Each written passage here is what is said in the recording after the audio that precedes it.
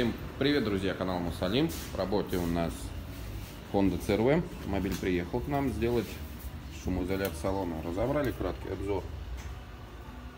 Пол в багажнике смотрим, кое-где вибропластом обработан. Задние арки голый металл. В автомобиле одни из самых шумных мест. Пол в салоне также кое-где вибропластом проклеен. По дверям смотрим. Голый металл. Подготавливаем поверхности, приступаем исправлять. Так, друзья, закончили клеить вибропласт на Honda CRV. Проклеен у нас прокатан валиком пол в салоне. Также первый слой нанесли в дверях. У нас вибропласт толщина 3 мм.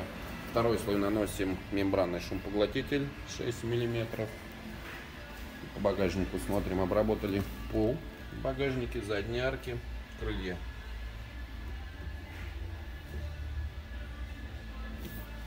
Продолжаем нашу работу.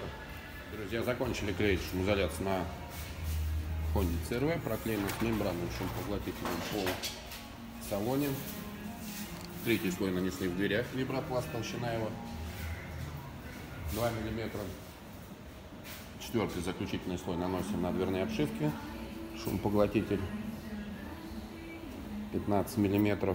Также обработан пол в багажнике, задние арки крылья.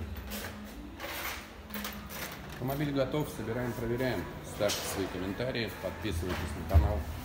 Всем пока.